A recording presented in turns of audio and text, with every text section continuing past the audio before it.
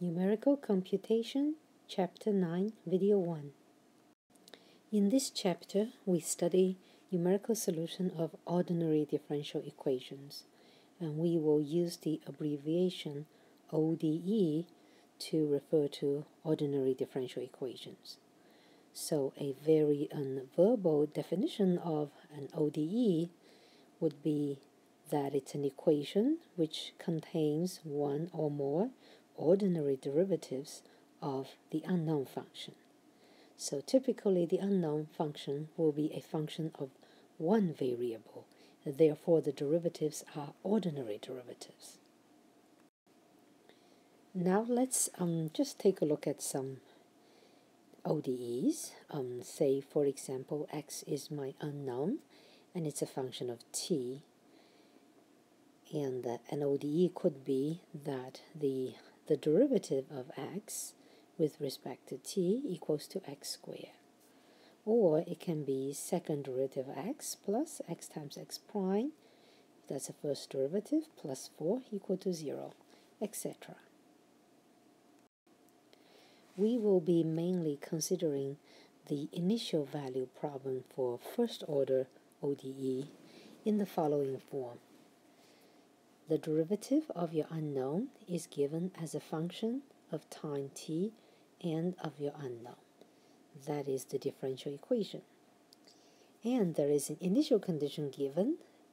At initial time t0, x is given as x0. And this is called initial condition, and we will call it IC. Okay, some simple example of an ODE with initial condition say x prime equals to 2 and x0 equals to 0. So which function its derivative is constant 2? So we know it's a, the graph of the function has to be a straight line with slope 2. And by putting in the an initial condition x0 equal to 0, we see that the only solution will be xt equals to 2t. Let's see another example. x prime of t equals to 2t and x0 equal to 0. Well, you can integrate both sides and uh, you get an arbitrary integration constant. It will be t squared plus a constant c. And then you put in the initial condition that c is 0 and your solution is t squared. Okay, say another example, x prime equals to x plus 1, x0 equal to 0. The solution will be et minus 1. So um, if you don't know how to obtain this solution, at least one could plug this function back into the ODE. So differentiate x prime, and then you put on the left-hand side, and then you plug in the expression for x on the right-hand side. One can verify the equation holds, and one can verify the initial condition also holds, and therefore this is the solution. So I want to say these are a few examples where the equations are simple, that one have a way of constructing its solution.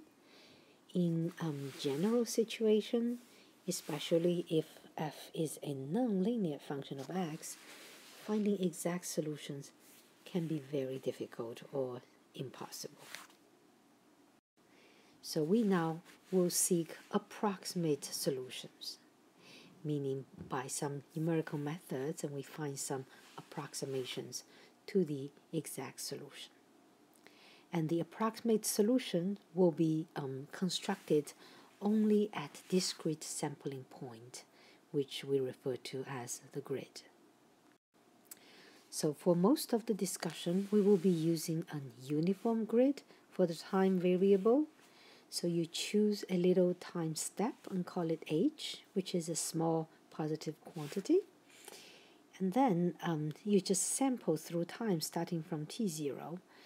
And then every two neighboring time step, tk plus 1 minus tk equals to h. So every time you take the same step size.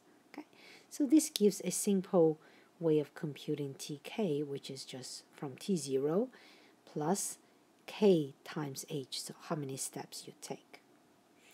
And then until you reach the final time, which is tn, n is the final time step.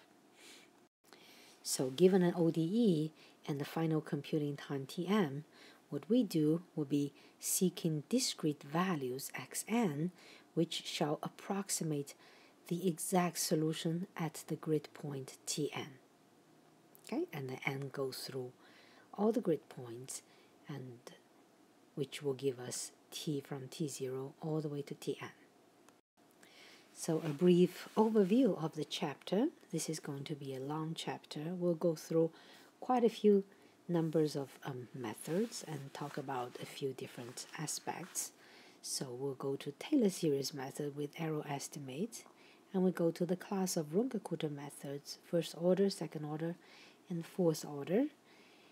And then we talk about um, adaptive um, Runge-Kutta method, and then there'll be multi-step methods introduced, and then we will look at system of ODEs where you have more than one equations and they are coupled with each other. And then we look at higher order equations and system, and we'll talk about also one phenomenon that causes great difficulty in computation that is a stiff system. And then we will um, explain various MATLAB solvers. Hope you're excited and let's get started.